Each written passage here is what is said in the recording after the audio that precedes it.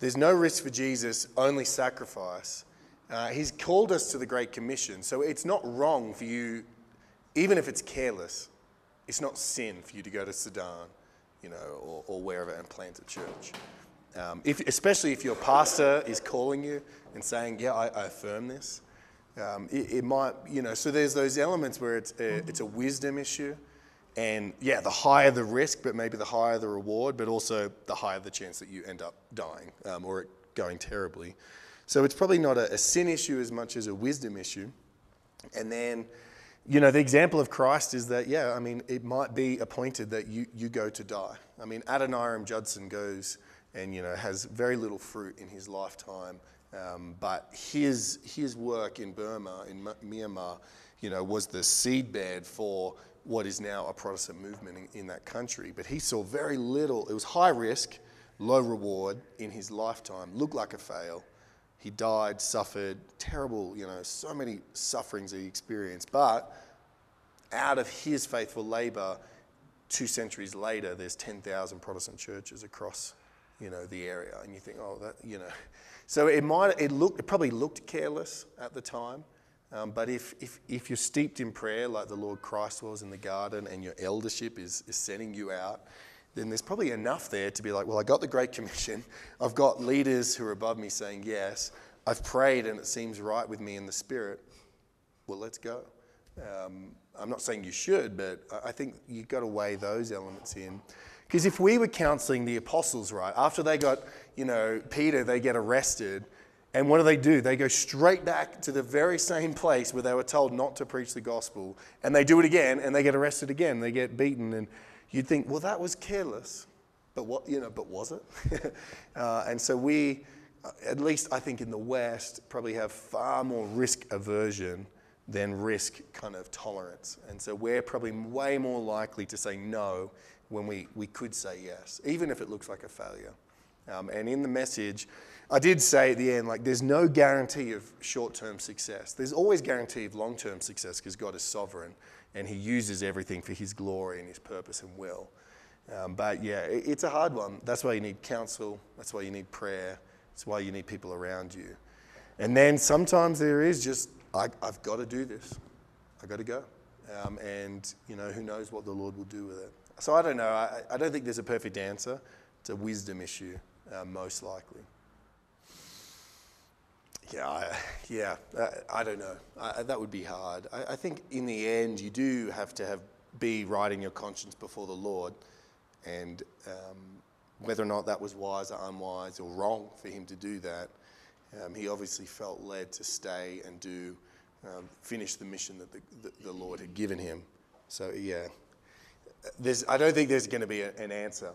Would be my guess, because um, they might have been although they might have been in authority over him, it might have been a wrong use of their authority to say to come home.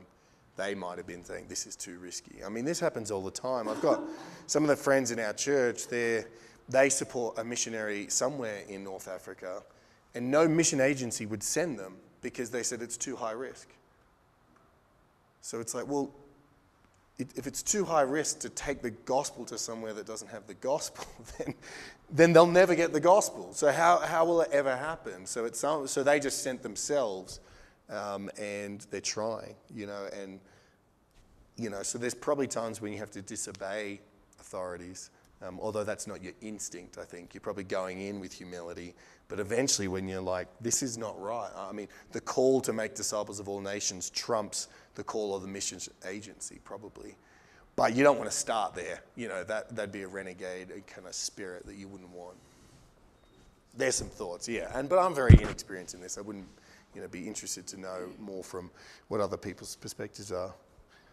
What are any other reflections on your own experience of uh, wanting to step out but feeling that pull back, like I don't really want to take the risk? Any, anyone else experiencing that, Yep, Yepsigo? Yeah. And uh, I think the good indicator of whether or not you'll take risks in the future is do you take risks today?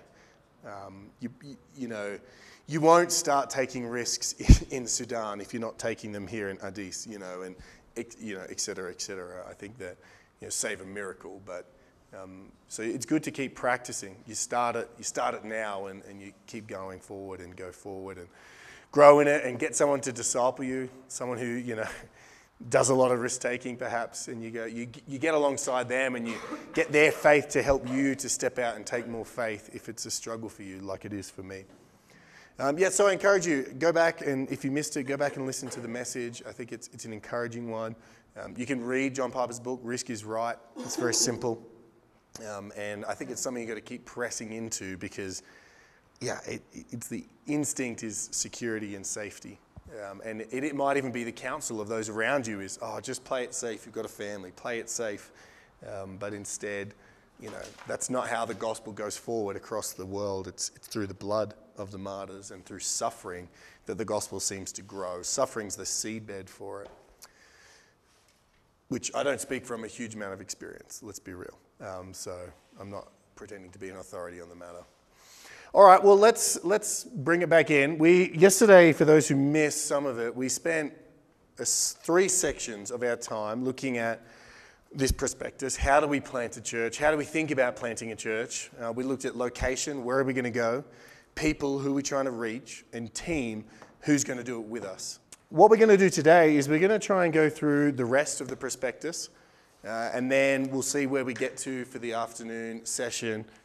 Okay, so for the guys that missed yesterday, we've, we've so far covered location, where are you going to want to plant? Then we covered people, who, who, who we're sort of aiming at. And then we covered church plant team. So, how are we're going to build a team, what's that going to look like, and all that type of stuff. Today, we're going to start this session with the whole premise of leadership. So, there's really five questions under this section. Number one, who would make up your initial advisory team? How do you see an advisory team functioning to support this church? So, what's that? That's looking at, you know, the aspect of, hey, I, don't want to just be like out by myself. Who, who's going to be helping me? Who's, and that's not just church planting team, it's people from outside. It's who's going to be able to help me and help mold me? Number two, how do you see plurality of eldership developing in your church? Number three, how will you and your family receive care in this church plant? Number four, how do you determine when the church planting team will be merged with new attendees into a functioning church? And then number five, how will you approach church membership in the church that is started through this plant? So, Riley, why don't I ask you how we did it in Parramatta and then I'll come in. Who would make up the initial advisory team? How do you see an advisory team functioning to support Sovereign Grace Church Parramatta? Great, yeah. So, an advisory team, as Dave said, is a group of men, most likely, maybe some women, who help you figure out um, how we're going to do this, what's the journey going to be like? Where are we going to go? All these prospectus questions and things like that. So the way it looked for me was uh, Dave and Brendan and Patrick, who were the elders at the time, were certainly a part of the process. Particularly Dave, um, he was my mentor through the process. I also had a coach from Sovereign Grace USA, one of my friends, a guy called Eric Tibetsky, who's he hasn't come out to you guys, has he? Oh man, Turbo's the best. He's awesome, uh, and uh, so he was my coach, and he was really helpful because the, the coach's role is not so much to say, this is what you should do. The coach's role is to really ask you the questions and make you answer them for yourself, but guide you to figure out how you want to answer the questions. So some of the things, you know, he used to do with me was, you know, not he would never tell me what to do or even give an example of what he'd done.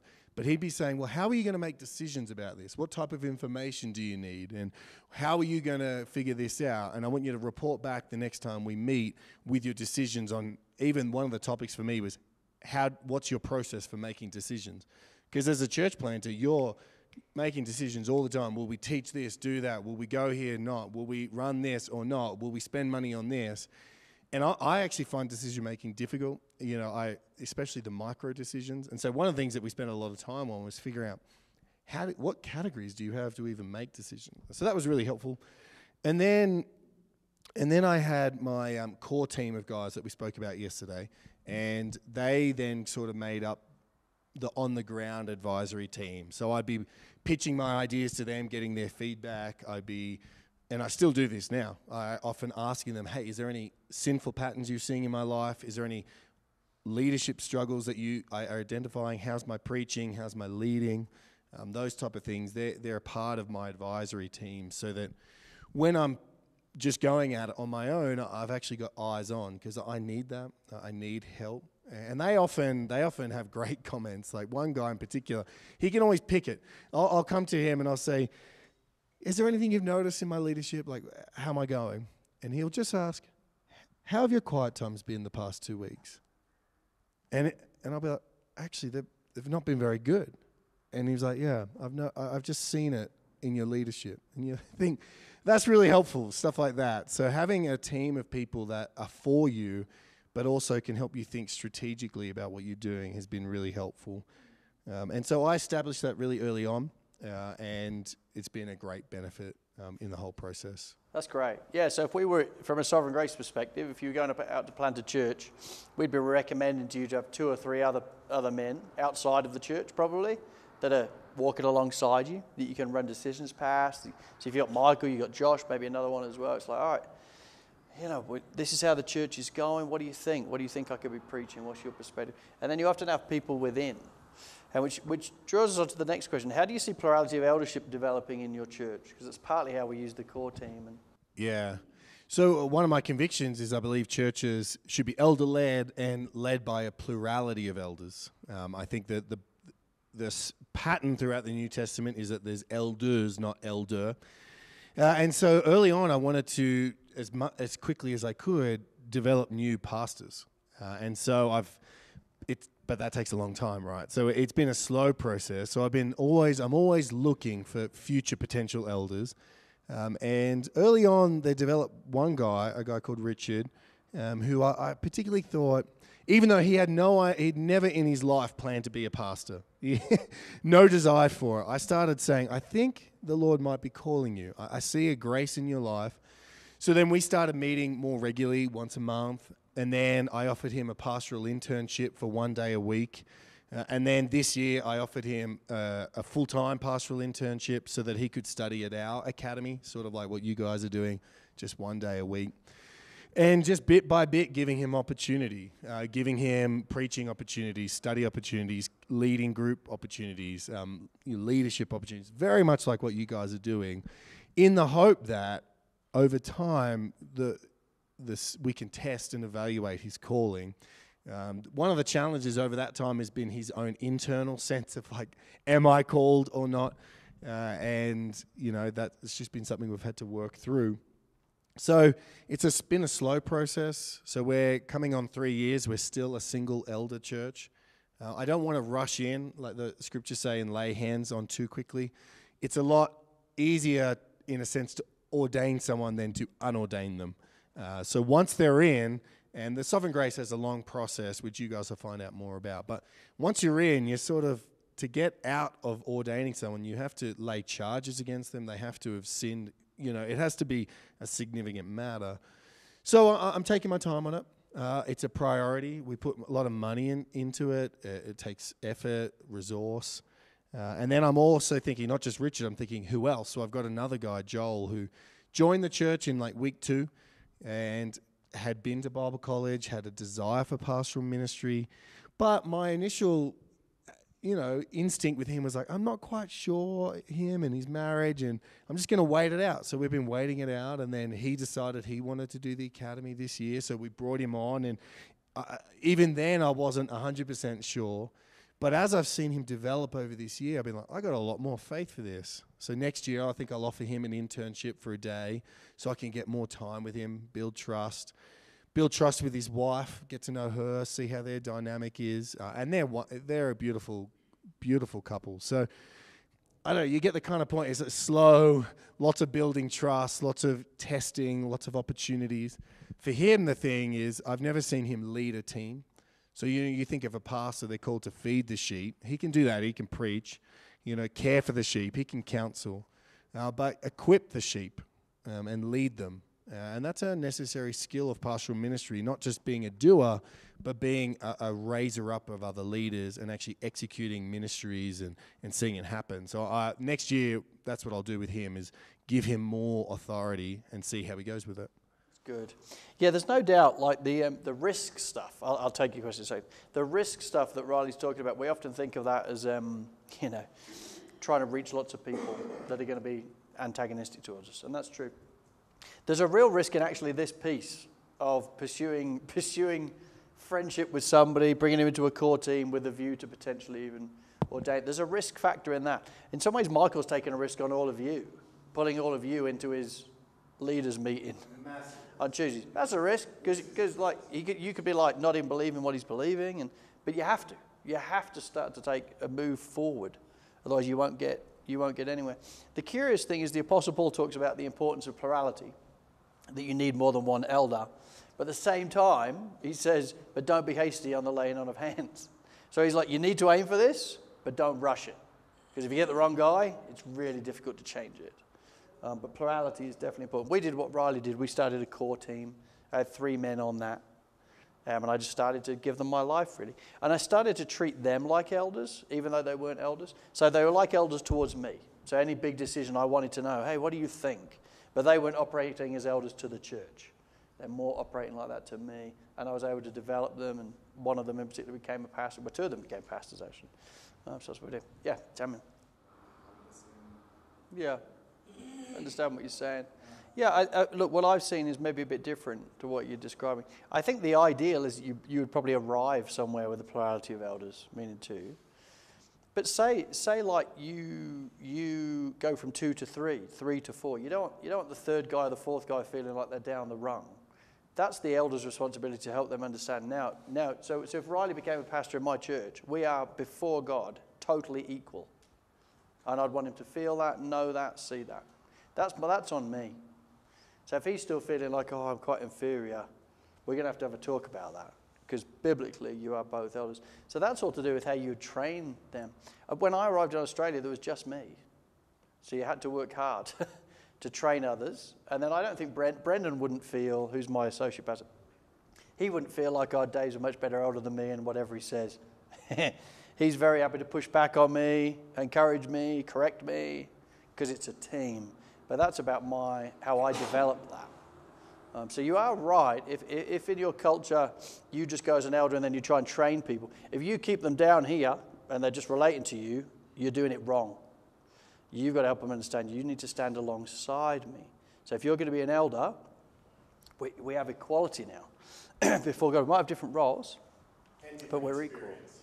Yeah, experience is a factor where it's like oh, the other elders might be quite yeah, not subservient, but quite happy to go with what the leader guy thinks, sometimes just because he's more experienced than they are. But I wouldn't want them to feel um, we're down a rung. Yeah, I understand what you're saying.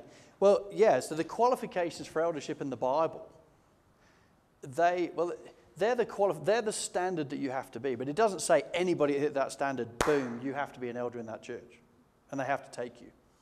So I'm qualified to be an elder, but I couldn't go to South Korea and rock up and say, I'm going to be a Presbyterian pastor. I'm qualified to be an elder.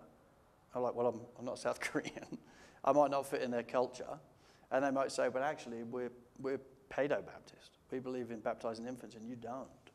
So, okay, so we all understand that we don't all fit everywhere. Just because you have the qualifications doesn't mean you fit the gap that's needed. Ordination is actually just testing whether somebody's actually qualified. That's all ordination is. So you don't have to go to pastor's college, for example, to be ordained in sovereign grace. An ordination process is actually just let us test you. So you're saying you have the qualifications, you're saying you're able to teach. What we're really doing is testing your convictions. So in sovereign grace, we would say, look, for somebody to be truly qualified to be an elder, you, there's going to need to be conviction, there's going to need to be character, which is what all, all the qualifications are about. There's going to need to be competency, like can they actually do it? Because you meet lots of people that actually hit all the character qualifications, they're just not very good leaders. They're just not very good at it. And so you're like, okay, that's going to be a challenge. Um, so you've got all those things. And then you have actually got compatibility. So would we, do we fit everywhere? And sometimes we, we don't. So I'm qualified to be an elder, but I might go to a like some of the some of the churches that Amy was talking about yesterday. The sort of Hill, Hillsong. If I went to Hillsong, I'd be like, I'm qualified. I don't fit at all. It's just they're not my people. Um, so you have to you have to work that out. So ordination, I think, doesn't so much slow it down, so much as really works out for any given man, are they truly qualified in the sense of conviction and character in our context? It tests that, which I think is a good thing. Otherwise, you would just have to go with, well, He says he's qualified. They seem like a good guy. Let's do it. You could test it more quickly than we do. Like it could be a shorter process, but because of the way our polity is structured, once you're ordained, you then have the ability to influence and shape the entire denomination. Um, and so we're slow to give away that authority um, because of the implications of what that is. Well, and that's biblical because if, if the Apostle Paul says, don't be hasty on the laying on of hands, it doesn't make then sense if we say, oh, we're too slow. He's saying, be slow. He's deliberately saying it. It doesn't, I don't know how long you think it takes. You can get ordained in six months. Now, your pastor would have to put you forward as that candidate, but if he puts you forward as that candidate, you can be ordained in six months. Yeah. Uh, the other the other element I would add is um, I've had three guys start internships and not complete them, um, and so if we were hasty, you know, you you could end up with a real um, issue there as well. You because as soon as you give authority, you've given authority, and now they have influence. Now they have the people. Now you know, um, and so yeah, t- time they can be too long or they can be too short, and you just got to, in wisdom, figure out. Any other questions on plura- uh, on yeah? The guys we choose for like my core team would meet the characteristics to some degree of an elder. So they operate in an elder-like fashion without the authority, and the final say ends on me, and the responsibility ends on me. So you kind of we try to have our cake and eat it a little bit too. Yeah. We, we've definitely, in Sydney, in my church, we've benefited from not being too rushed. So I would be quite happy to go from somebody not knowing them that well to be ordaining them within, say, two to three years. Say if you didn't even know. I, I, I get that. But we wouldn't do it quicker than that, and it's helped us. So we had a guy turn up two years ago, three years ago, from Dubai. Yeah. Three years ago, from Dubai. Already been a pastor in Dubai for like 15 years or something. Great guy. Said he loved sovereign grace, said he loved our values, loved our shape of virtues, all in. Great. This guy's been a pastor for years. He loves our values. He actually is leaving the church in Dubai because he loves our values so much and wants to do that. Australian man. Yeah, we could have just transferred his ordination. Could have transferred his ordination, um, but we didn't. And the whole premise was hey, listen, why don't you come here, do a residency, let us get to know you, you get to know us, let's work out if this is a good fit. We get to the end of sort of like a year, year and a half in. He feels like it's a great fit. We don't feel like it's a good fit at all. And you think, why? Because all the values we're saying are exactly the same. And he would say, I agree with all this. But the virtues were not what was displayed. So, so fellowship, for example, he would say, I love friendships. Okay. Here's the thing though at the pastoral team care groups, your wife never comes, it's just you. Well, she's very busy. Uh huh, I get that. But it's actually a value for us. And so we don't really feel like we know you very well, like at all. And they started to be offended by that because humility was also lacking. And you're like, yeah, thank goodness we took our time. They ended up uh, leaving, they weren't very impressed. But if we had ordained him, which we could have done on paper, he would have been in our leadership team. And now we start to see he doesn't even agree with us on some of this fellowship stuff. What are we going to do now? And then it came out as he was starting to leave that really he felt called by God to come to us to change us. And you're like, ah, that wasn't said on day one either. So there is real merit in just walking slow, not too slowly, but slowly enough, because you put the wrong man in with you. It's going to be very, very difficult. Yeah, you're not you're not in sin if it's a single elder church. It's best practice, but it's just to just to be clear. If it is a single elder church, what we do in Sovereign Grace. So he went out as a single elder. That's where the advisory team comes in, and the advisory team, on the whole, uh, is actually meant to be ordained elders. So say AB goes out and he actually just goes out by himself. You might say, okay, well, if Michael's ordained and Josh is ordained, and I know Dave Taylor a bit, maybe they could just be on my advisory team, just so I could speak with them once every couple of months about things I'm planning in the church, doing in the church. You're kind of using them as fellow elders. They're not elders in your church, but they have that caliber. That could be really, really helpful. And then eventually that team dissolves because Mikey's coming on, so he's going to be an elder. So you're like, okay, well, we, you don't need us anymore, bro. That tends to be the way it works. Keeps the church safe, it keeps you safe. Did you have a question? So we, we don't like in Sovereign Grace just bringing other pastors in and the church have to go with it. We don't, we don't like doing that. Far more, hey, so say even if it was me, I would not come to Addis on the premise of, hey, I'm already an elder, so I'm going to be an elder here. Even if Michael needed one, it would be more, okay, I'm, I'm just going to be like a resident helping. I'm not an elder in your context. Um, let's see if I can win your hearts and love on you, and you can get to know me, and you can decide whether you want me to be a pastor. And so then it would be Michael saying, yeah, we want Dave to be a pastor, and the church saying yes, and then you go for it. So that's, that's definitely takes a bit of time, a bit of a process. Because if people are going to, you know, the Bible calls us to submit to our pastors, submit to our elders. We don't just want to put candidate A in front of everybody and say, well, here's your guy, which is often in Pentecostal churches, right? You're just like, oh, I was a new guy, and you're like, oh, I don't even know him. It's actually, sovereign grace isn't, isn't congregational, but it is the one thing that very often, most of the time, the church is very involved in the ordination piece. So, we, so when we um, ordained, we were sending you out, but even for you, we sending you out. We, we wanted to ordain Riley, so you put him up as a candidate to the church. As in, you know what, you've known Riley now for a couple of years, you've seen him preaching, and we want to ordain him. We believe he's got those qualifications. As part of that process, we'd like every member in the church to write to us as to whether you would love him to be ordained or if you would have questions and concerns biblically about, you know, I, I'm concerned for that. And that's what we do. And it's one of those only times where the church gets very involved.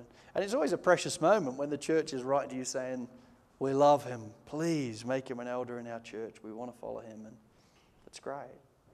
Um, that helps us. Okay, next question. How will you and your family receive care in this church plant, Mr. Spring? Well, it's been one of the great the great things about what you've established for us in, in Sovereign Grace Australia is that um, we, we have done this entire church plant with just the most amount of care you could imagine. Um, so when uh, when we were part of the leadership team, there was already a care group for my wife um, and I. We would be with your wife and, and the other pastors, and so we're meeting every six weeks, sharing our, our sin, our struggles, our marital problems, um, and then uh, there was once every six weeks we met just as guys, so pastors, um, and we were sharing our personal guy struggles and sins, spurring each other on. Uh, and so th- there was that element, um, and that has actually still continued to this day. Um, I obviously need a lot of care. and the friendship piece. We just don't want to do it on our own.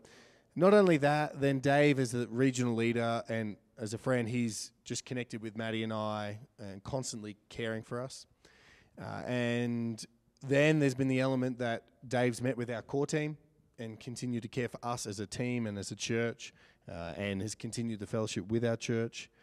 Um, and so the, the lines of communication open, the opportunities open, so that if there's any problem, we can just come in and ask a question. So it's been, it's been great, and I would highly encourage you if, if you pastor or you plant to establish those patterns of care, um, lock them in in dates make it happen um, because otherwise, just bit by bit, your marriage can freeze out, your parenting can go downhill, um, your soul can go weary and tired. And, and unless you're having those regular moments where you can be honest, it can just build up to be something that's so big that now it's too hard to share, that our marriage is in absolute tethers and etc. So that's good. Yeah, there's lots of different ways of doing it, but you've got to work out how am I going to be cared for as a pastor. We'll look at it a little bit tomorrow morning because as soon as you have two churches here in Addis, you've already started a region, what Sovereign Grace would call a region. So we'll look at a bit, okay, what does that mean? How do these churches work together? One of the pieces is they start to care for each other at a pastoral level. They're not, they're not just by themselves. Um, Mikey? It's entirely up to what, what, say, Michael and Josh would want you to do here. There's no rule. But um, my recommendation would be if you're close enough, you'd probably stay in that type of care group for yourself. Uh, but you'd want to be creating it elsewhere over time. But, but when we actually did our pastoral care group, which we do, we, Riley and Maddie are only going to leave it this year, at the end of the year. And that was after three, two and a half years.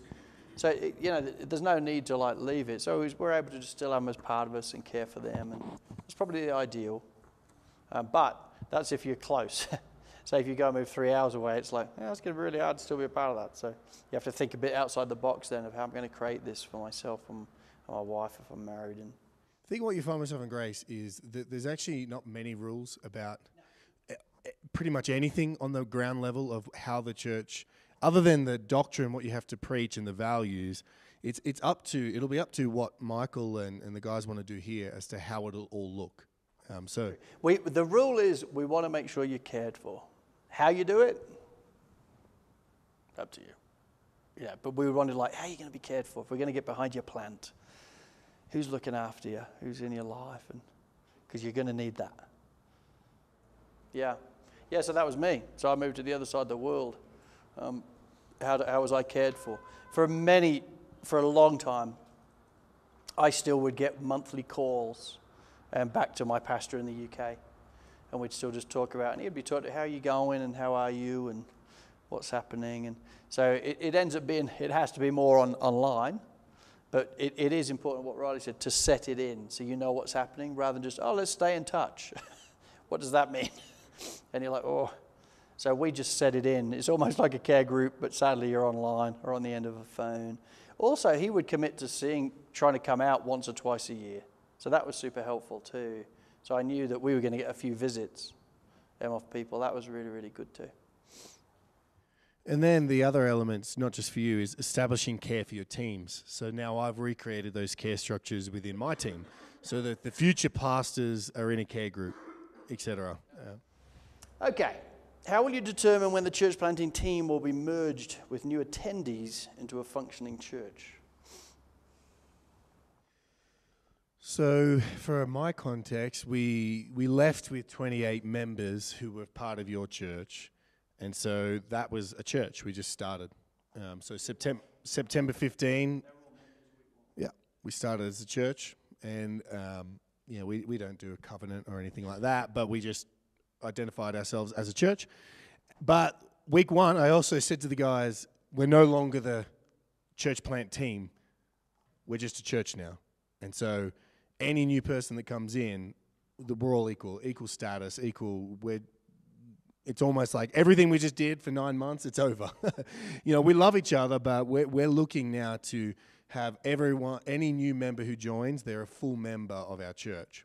So we um, started the church, and then we did what was called Starting Point. We did it over 10 weeks with new members, like what you guys are doing, membership class, but we did it longer so that we could teach them more on our doctrines and values. And then we took in 10 members or something like that. And so then our church went from 28 to 38, and then, or whatever it was, and they were just part of the church straight away. Um, and that was, that was how we did it. Yeah, when we when we moved out to Australia, we went in June and we planted in September. Over that three months, I took everybody through our passions and values, and then so the week before we started, I officially took them into membership of our new church plant. And then we, as soon as we started the plant, we just did the starting point course, which is the new members class for 10 weeks. So we took people into membership, oh, I reckon our first lot, probably like on a week 13 or 14, and probably about 30 people then. And then another three months later, another 20, and we grew from that. I know you'd have to think through what it's like in your context, because I know you went a full year before taking anybody into membership, whereas we, were, we had membership week one. We were, we were much quicker, which isn't right or wrong, but it's just thinking through. Yeah.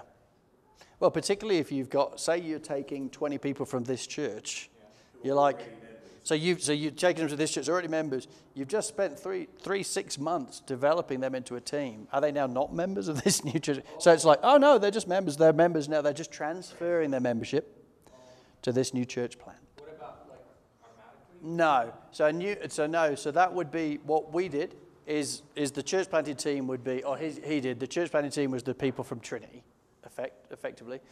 And then on week one, you announced that, hey, in four weeks' time, we're going to start a new members class, just like you do. But we didn't make people wait a year for that. We were just like probably a month in that if you if you're around and you're interested in joining, we start our classes. And yeah, they don't. You can't have. Oh, you can, but you wouldn't have somebody come in and then oh they're members because they've arrived. No, they do the class. No, and they have to agree to membership. So we do have. I did. I said we don't have a covenant, but we do actually have six things they agree to: to participate on Sunday mornings, participate in group, serve, give, um, uh, submit to the leadership of the church, and be on mission. We talk them through it. What we do is we don't actually make them agree um, to them per se, but what we explain is this is who we are. And so when it comes to understanding the type of church you're joining, we'd want you to understand this is exactly who we are. We do ask them then in the, in the interview or time with them, is there any of them that you find really hard or struggle with? And I think there's on our membership form, there is a tick box to say, do you agree with the seven shared values? Just so we can get a feel. Because if somebody says, oh, no, it's great. You can just talk about, oh, what's, why is that? And, and so that we can disciple them.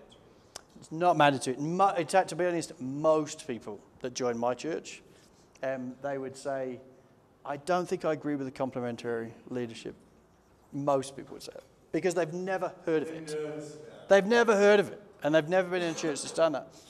And it's, it's easy for me, perhaps, because I'm able to say, hey, listen, I was nervous about that too. And uh, would you journey with me in that?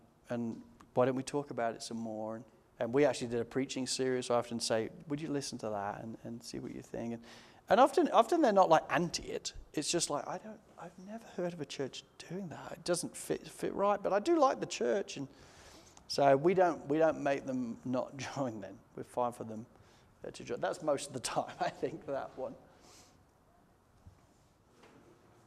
Uh, I think everybody would probably agree with what we've said in principle. I just think some people execute it better than others. Yeah, it could also be, though, say, even if you went the route that we're doing, if you don't teach the. One of the things that can happen, which is really difficult, is say your church planting team has just spent the last six months together. They're actually really close. and even though they know they're going to plant a church for other people, they actually start getting a bit disappointed when other people start coming because they're like, we had something so nice. And so you definitely have to, it's a strange phenomenon, but you definitely have to start to train and help the guys understand. I remember saying to our team, I actually got them to do it, we did it visually. I'm like, look, I want us to stand together and huddle in. Now I want us to turn around. And so let's all look out. And I'm like, that's what this plant is going to be about. It's not about us. We're planting for other people. But, it, but you realize, oh, we're, we're going to have to educate because people come in because they want to plant a church, but then you build them closely together and then they don't like it when people start adding in because you do get tired. That could be a, a quirk of it.